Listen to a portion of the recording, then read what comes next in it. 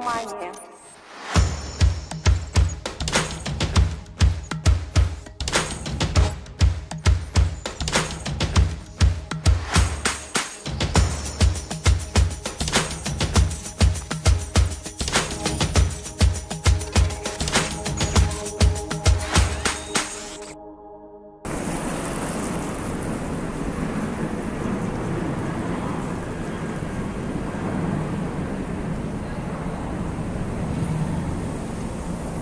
Вот на каком-то таком же приблизительно аппарате я сюда прилетел.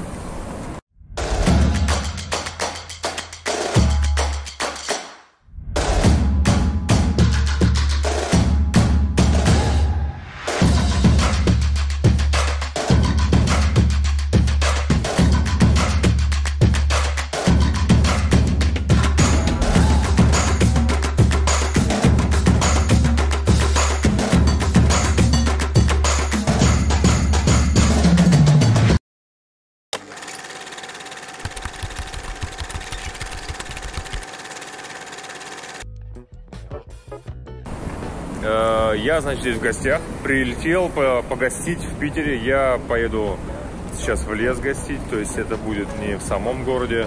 Я поеду гостить э, в Кингисепп, в лес. Э, Поеду проведать э, Вольво. Поеду, проверить Вольво с головой СП Москина, как себя чувствует. КамАЗ там какой-то на проверке, как себя чувствует. Всем знакомый этап. Этап закупки. Закупаем еду, э, молоко, к чаю.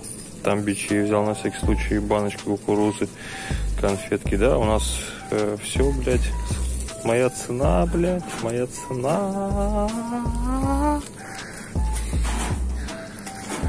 Макарики, естественно. Нужно взять курочки, макариков. Ну, там есть холодильник, так что я думаю, что доживем нормально. Перегрузил часть шмоток в Урал.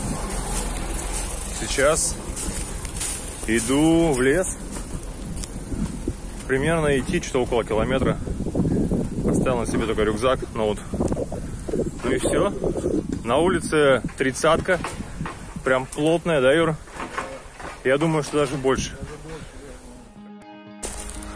Идем смотреть делянку. На улице просто кипяток. Ребята пока не работают. Ну, в 35 работать сложно, а оказывается еще на этой машине не стоит доп. То есть с допами-то еле-еле вывозили, а тут еще и без допов. В основном вот такой вот лес. Эй! Скорее всего, шумно там работает этот вот желтый мистер, потому что там холодильник нужно постоянно подбадривать. Масло стоит вот такой вот вагон, 7 метров, самый обычный. Такие вот штабеля здесь стоят. А, тут дорога, оттуда мы, собственно, пришли. Там где-то ходят Уралы, все как обычно, ничего. Ничего необычного здесь нет. Все по стандарту. Пойдемте посмотрим, что там у нас в вагоне. Вот такой вот у нас видок в вагоне. С этого он начинается. Вот здесь, ну, просто на входе так. А так в основном все везде чисто. Парни тоже ходят в носках, там даже пылесос, я заметил, есть. Вот такая вот здесь сразу слесарка. Здесь, ну, вот насколько это можно назвать слесаркой, естественно, да, то есть такая, ну, скромное вот такое вот место для того, чтобы что-то подремонтировать. Там, вот, говорю, пылесос лежит, э, смазка, какие-то вот заточные, ну, коробка заточного, холодильник. Здесь ребят сумки висят и рабочие. Одежда, даже здесь вот слышно хорошо, потому что стоит он где-то вот здесь, и он довольно большой. Молотит он много. Автономка также стоит. Что еще? Вот такой вот кухонный гарнитур. Довольно все аккуратно сделано. Также здесь, ну, сама кухня, то есть все сделано аккуратно. Все ну, довольно обычно. Дверь вот такая вот плотненькая. Шкафчики с, э, с такими, как это называется, не доводчики, а с такими вот фиксаторами. И говорят, что все плотно закрывается. Все в порядке. А, Здесь вот вещи висят, а, откидные полки. Вот как вот здесь, вам видно, наверное, да? Откид- откидная полка. Там ящики под э, вещи. Поэтому все нормально. Там розеточки есть, то есть все удобно. Мне вот дали вот эту нижнюю полку. Денис говорит, спит слева вверху. Потому что, говорит, так уже привык просто. Ничего. День второй. Знаете, вы же согласны, ну, от жары же можно сдохнуть. Это правда. Понятно, что не в наших условиях. Водичка все равно где-то да есть. Но от нее можно сдохнуть. И состояние сейчас Состояние, короче, э, собрали манатки и переезжаем в другое место гостить. Человек сейчас уже э, погнал машину. Там у нас будет встречать трал. И тут недалеко совсем идти. Я вот выхожу, взял водички с собой. То вдруг по пути... Нет, нет, да. А. Съехал с тралом. Переехали сейчас. Едут только харвестер форвардер и вагон будут позже. Еду. Кстати, вот где здесь находится дисплей в этой машине, в предыдущей машине. То здесь вот был лучше так или вот здесь, не знаю, посмотрим. Хотя даже чисто логически, мне кажется, что... Не, не знаю, не знаю, посмотрим. Днем вообще невозможно будет работать. Ну, я имею в виду даже технические какие-то дела выполнять. Мы приехали, в общем, в новые гости. Вот здесь стоит подборчик, не подсвечивает. Даже вот эти технические вещи, типа мойки. Я все-таки выпросил сюда мойку с моющим средством и так далее. И сейчас буду мыть радиаторы. То есть даже вот эти дела приходится делать ночью, потому что пиздец какой-то. Ну, либо просто стоять, либо работать, но хотя бы мыть и ночью. Доброе утро четвертого дня. Ну, смена всего лишь вторая. Ну, короче, что принудительно закончилась смена. Опять начинает греться. Пока еще осталось немножечко водички, я все-таки помою, продую. Так вроде все в порядке. Ну, правда, да, пришлось закончить. Сколько, в 6, наверное, я закончил.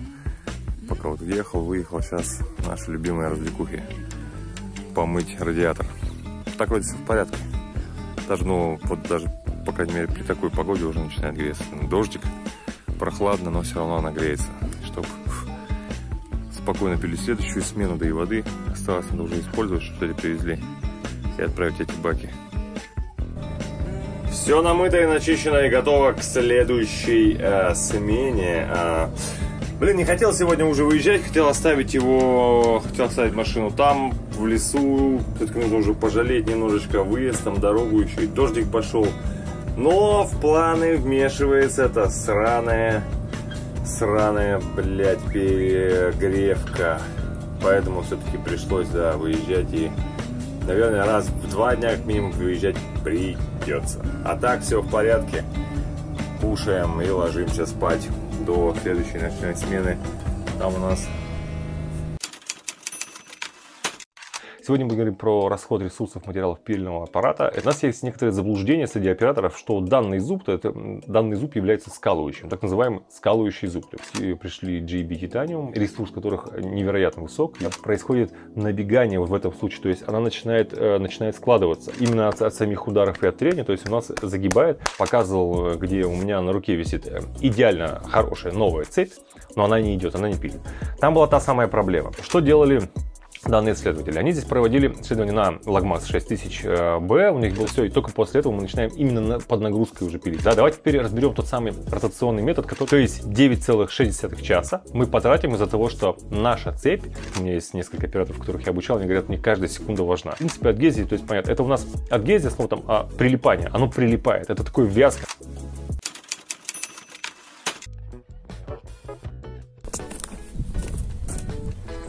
Интересное утро. У меня здесь воды очень мало, поэтому приходится экономить, переливать. Кстати говоря, я сегодня остался один.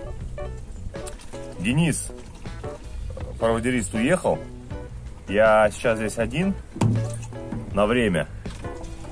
Но и сегодня утром, пока, короче, я тут готовил перекусить, у Дениса Наебнулся подшипник на помпе. Не знаю, как там что решилось. В общем, мы определили, что это помпа. Я пошел спать. судя по всему, он, он ее снял, и я так понимаю, что дело сейчас в ее покупке и так далее. А мне приходится вот так вот переливать воду. Мне сейчас там привезли воды, но нужно все перелить, чтобы все было. У нас здесь вот таких вот баклах. Не в сорокетах, не в полтинниках, а вот таких вот. Не очень хорошо здесь все с дорогой. Выехал за водичкой. И плюс еще вытащил Урал. Он вот здесь вот встал. Дорога глинистая, то есть чуть-чуть только выпадает дождик и все. И это, это все становится в каше и все. Надо, короче, стелить, буду стелить. Работаем. Так, ну, в первый же день я попросил, чтобы пришли и, ну, там, когда-нибудь, там, не знаю, на следующий день, чтобы хотя бы, да, пришли и обвязали делянку. Затески есть, а, ну, ленточек нет, видно плохо. Ну, вот и судя по тому, что я сейчас пошел куда-то гулять, вот как думаете, э, просьба была выполнена или нет? Столб нашел. Видим затесочку. Есть, родимая. Собственно, в том, в том направлении я иду, все в порядке.